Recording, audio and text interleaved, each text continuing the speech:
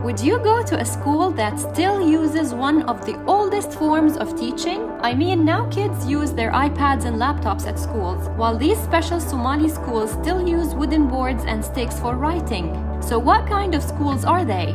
Well, they are Duksi schools. Duksi is a learning platform for teaching kids the Quran and religious studies. Kids gather in these schools in the early morning to memorize a specific number of ayats each day.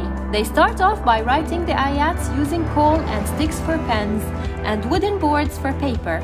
Then they memorize and recite them. Nowadays, Duksi is being implemented in some schools alongside school curricula to simplify school life for students and hold on to a system that has proved its efficacy throughout the years. So now, would you go to a school that still uses one of the oldest forms of teaching?